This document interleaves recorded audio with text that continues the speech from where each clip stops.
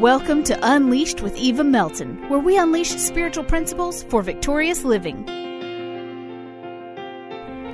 Hello, everybody. Welcome back to Unleashed with Eva. Um, we're here today on 101.1 FM. I want to remind you that this episode and all episodes um, of this broadcast is sponsored by Clifford Melton of Keller Williams Realty. You can reach Clifford at cliffordmelton.com. If you're looking to buy or sell a home, Clifford would be the perfect realtor for you.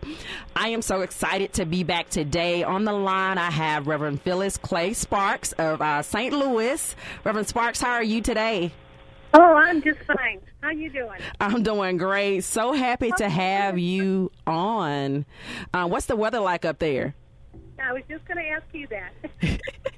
it's, it's foggy and rainy. Foggy and rainy. It's a little uh, foggy outside today. Well, cloudy outside today here in Birmingham, Alabama. But want you to introduce yourself to my listeners in your own way. Well, um, my journey has been uh, an exciting one, and uh, I I'm excited about a new uh, program that I have ready to launch. Okay. I've written a couple books.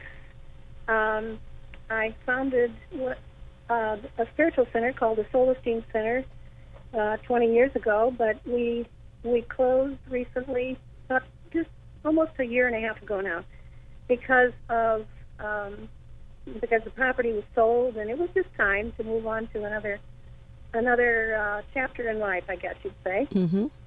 And um, so I'm just uh, excited. I my background includes art. I uh, used to be a painter.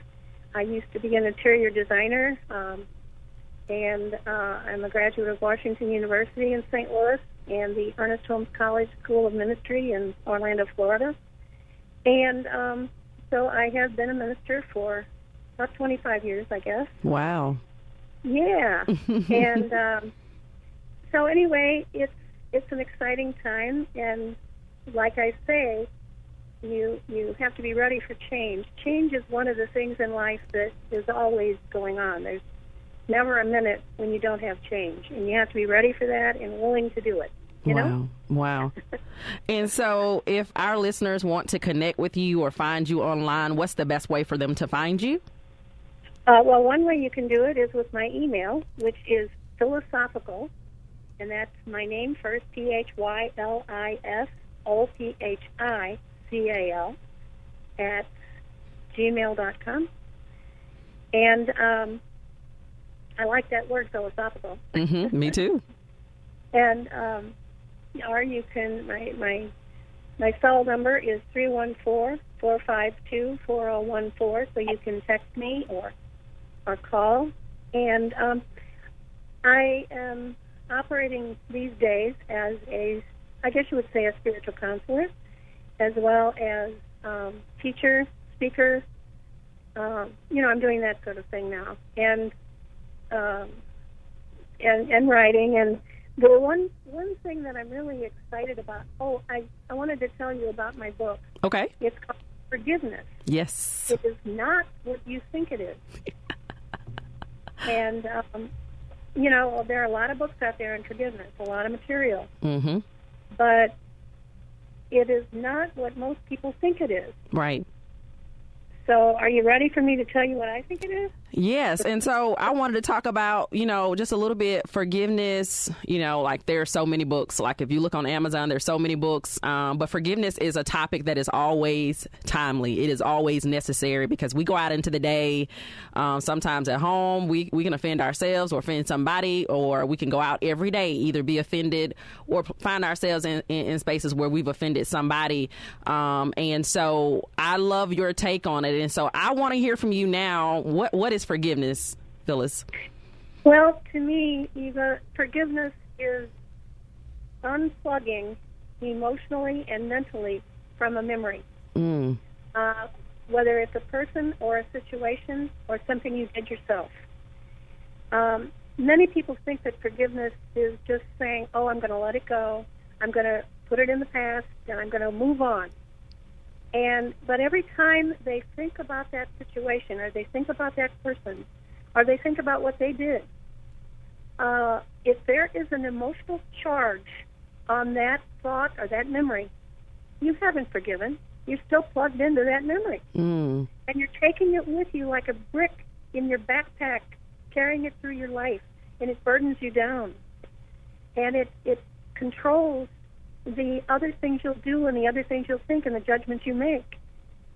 So, my book has two processes where you can, first of all, uncover what may be hiding in your, your subconscious that you haven't forgiven.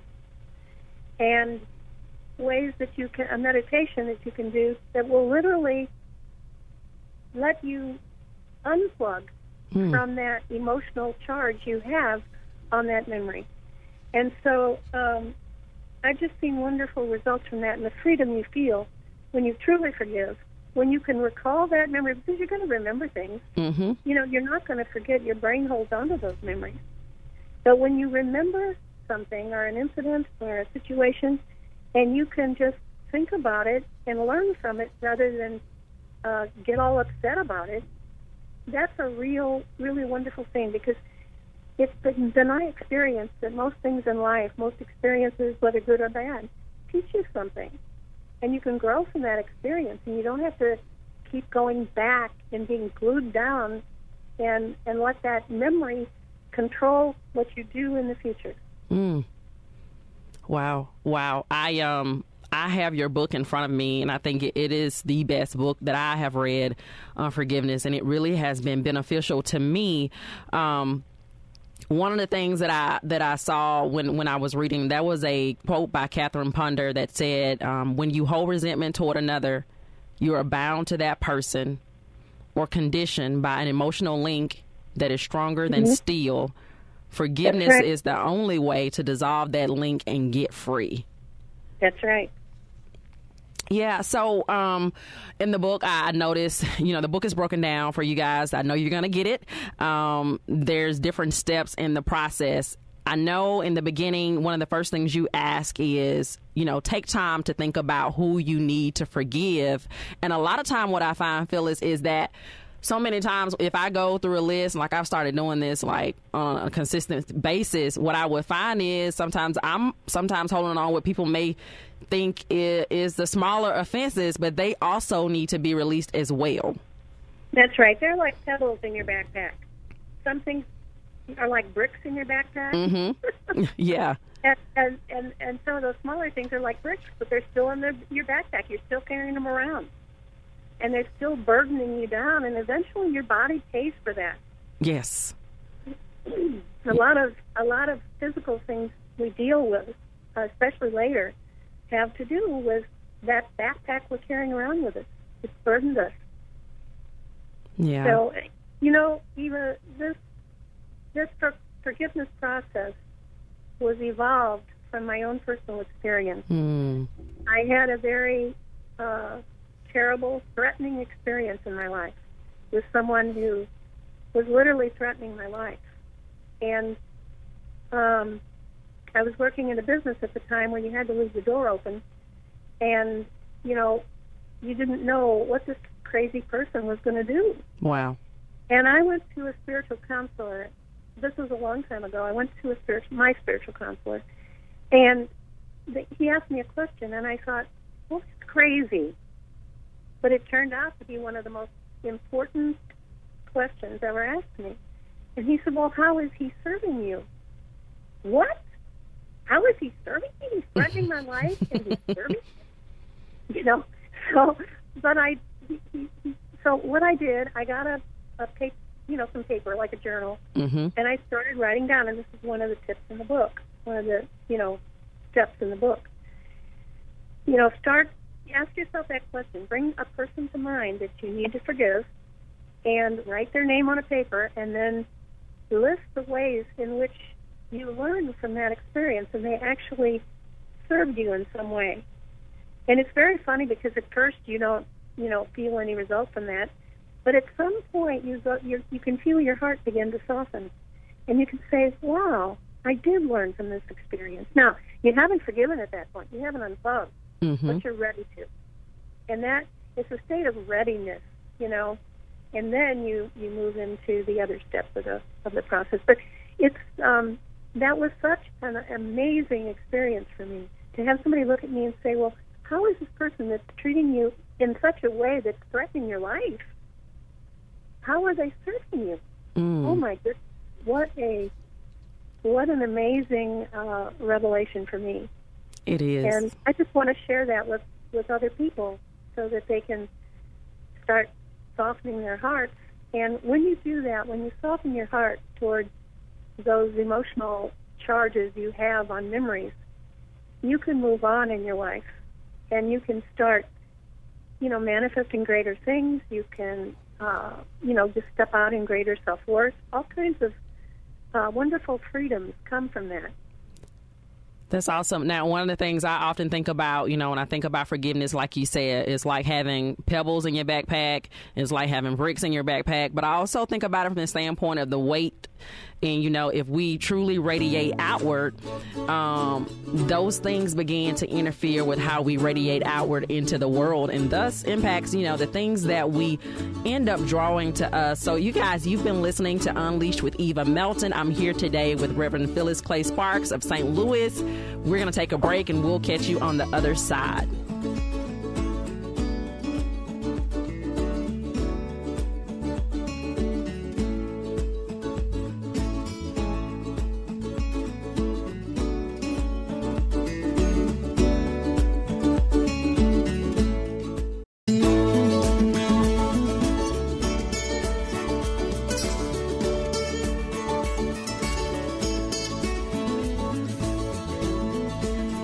Welcome back to Unleashed with Eva Melton, you guys. So happy to be here with you on this Sunday. My guest today on the phone is Reverend Phylis Clay Sparks in St. Louis. Phylis, we're back. How are you again? I'm good. Awesome. Awesome. Now, Phylis, you have a website as well, right? Yes, my my website is Phylis Clay Sparks or Phylis Sparks um, dot com, or you can. Um, I, I wanted to tell you about a new video series Yes. that I'm getting ready to launch, and it's called. One of the things on people's minds today, I think, more than anything, is money and prosperity and expanding their life. Mm-hmm.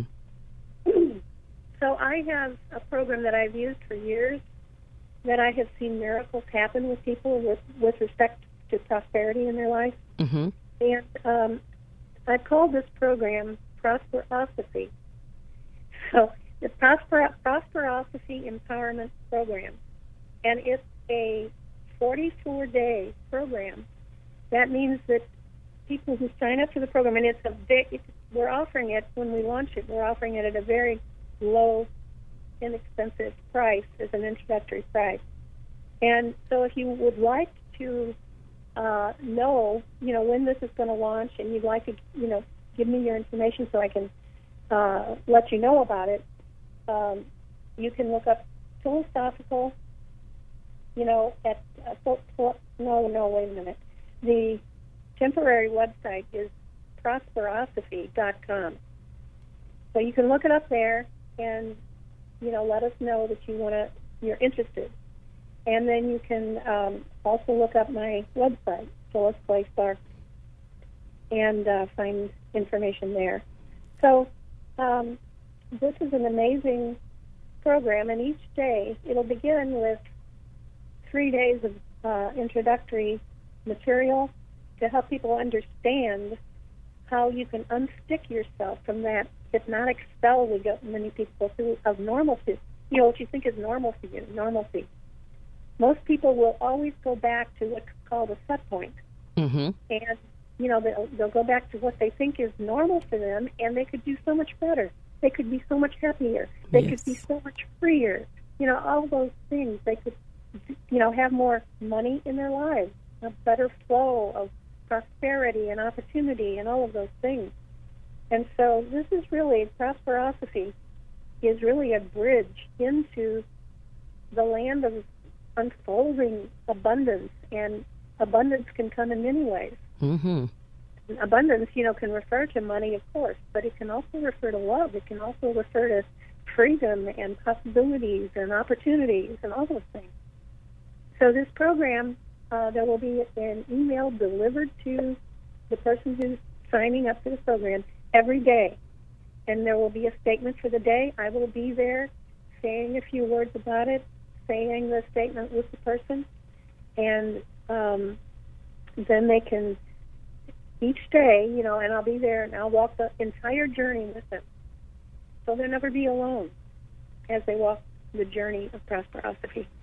And, um, you know, I've just heard so many wonderful stories about, you know, how people have benefited from this program. So awesome. that's why that's why it's you know a 44 day program because it, you cannot change your the mind you're used to and your state of normalcy that you're used to. You can't change that overnight. No, you can't. You've got to do it over a period of about 40, you know, 40 some days. Yes. So, you know, I know people who've done the program over, you know, more than once just because they had such a good result. And so, you know, you want to be sure that you really lifted yourself up and uh, rose above that set point. And one of the other things I wanted to mention, Eva, mm-hmm. is that uh, one of the things that the master teacher said was, "Judge not according to appearance." Mm. And so many people are so locked in to the appearance of something, or they're locked into their problems, mm-hmm. and they they're being controlled by those things. Yes. And you know, the idea is to step back, go to the mountaintop, and look upon the problem because we have to handle our problems, right? That's right. You know, I mean, everybody gets problems in this human experience. So you've got to be able to look at, you know, deal with the top problem. But if you're absorbed by that problem, you can't see answers to the problem. You can't see solutions. So the idea is to learn to step back emotionally, mentally, and spiritually, step back and look upon the problem with detached interest. Mm. Woo.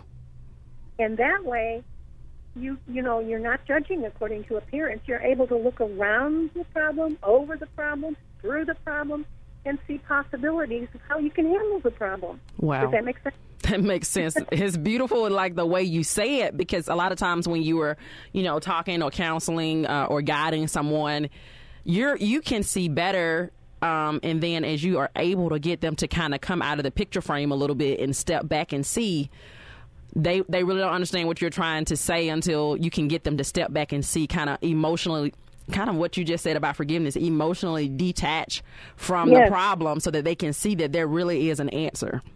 Yes. So in that way these two programs you know are kind of linked together.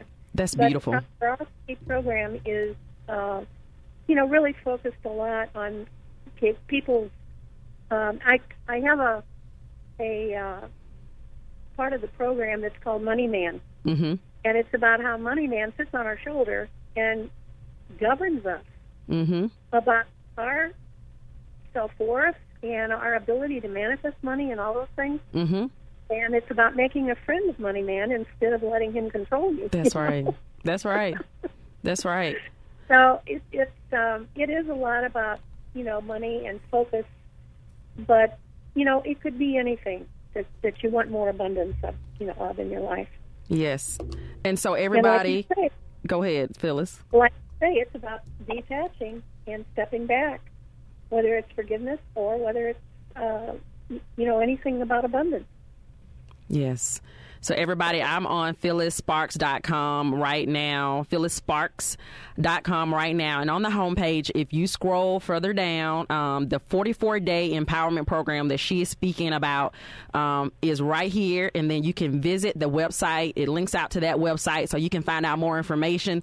But if you would just go on her website and, and either email her, submit your information to her so that you can get on her mailing list so that when this program starts, you can be in it because I I am going to hopefully be one of the first people in this program because uh, Phylis, one of the things that I noticed is you know no matter no matter how spiritual we are, no matter how much we've learned and grown, we all need a guide. Oh, there's yes, there's and there's always more to learn. Yes, there's always more to expand into. You know, we can't we can't go into that egotistical place of thinking we know everything or we've already done that. You know, and uh, have you noticed how many times you read a certain book or a paragraph or something over and over and over again, and each time you get something higher from it. Mm-hmm. Yeah. You know, so it's it's like that. I mean, you know, we we don't know everything about some subject. Right. We, we be open minded about all that. And well, that's kind of like yesterday when you and I were talking. Um, you know, I grew up, learned the, the the story of the wayward son in in Sunday school, heard it preached, and it's not like now I see it in new meaning and new light of the things that I have been exposed to. Mhm. And so the beauty of that, that? what, did, what did you learn from? You, you're talking about the prodigal son, right? I am, I am. uh-huh. And so just looking at those, um, you know, stepping back and looking at that fathers, you know, representing God and the choices that we make, um, but then also that repentance piece and, and what it looks like even coming back to God. Um, and then when you were talking yesterday, you, you kind of talked more about the other son. Um, Yeah. and it just kind of the, over time, how I've seen different, that story through a different set of lens. Yeah, for those who are familiar, and most people are, uh, if, if they've done any Bible study at all, um, with the prodigal son parable, uh, most people don't pay much attention to the son who stayed home. They just think of him as the good guy, Mm-hmm. stayed home to tend to his father's business. But when the prodigal son comes back home and the father welcomes him with open arms and forgives him, the other son becomes angry and he's resentful because he stayed home. And what are you doing? You're welcoming home this wayward, you know, person. Mm-hmm. And so the whole story really is about both perspectives. It's Mm. about both sons. It's not about just the one. And so we can learn from from both both angles. And um, you know, he had a lot of forgiving to do. You know, at that point. Right. So, yeah, it's it's it's a, one of my favorite parables, I think, because it's really a lot deeper than it's a deep dive into, you know, unforgiveness Wow. and what it what it really is. Wow. Um, and so the book that we talked about today, I know you have more than one book. I, I know I have two of them. But the one, Forgiveness, it is not what you think it is. How can our listeners order that book? Well, it has been available at a very low price on uh, uh, Amazon. Um, I'm in the process of talking to the publisher about um, because it's published on demand, and I have to renew that, so I'm not sure. I'm hopeful that there are some copies available. If someone can't get a copy, I might be able to, you know, send a copy. So Awesome. you know, I'm not sure how much, how much, uh, you know, how many are available at this point. But you know, you can try get on Amazon, and uh, I think Barnes and Noble. I don't know if you have Barnes and Noble in Birmingham or not. we do. Yeah, they they usually can get it too. So Awesome. and um, uh, yeah, I'm I just, but I I'm really excited about the launch of Prosperosophy here in Covington, Prosperosophy Empowerment Program. So keep an eye out for that, and uh, keep in touch with me. Anybody is, welcome to keep in touch. Awesome. Well, we are so glad that we had you join us today, everybody. We were speaking with Reverend Phylis Clay Sparks. Her website is phylissparks.com, and you can go on there and find the book that we discussed today, as well as her 44 day empowerment program that will be launching soon. Phylis, thank you so much for joining us. And everybody, I hope that you have a great week. Uh, you will catch us again on 101.1. Thank you. Thanks for listening to Unleash with Eva. I hope you were inspired, encouraged, and motivated to tackle a new week. For more information about the show, check out www.evamelton.com.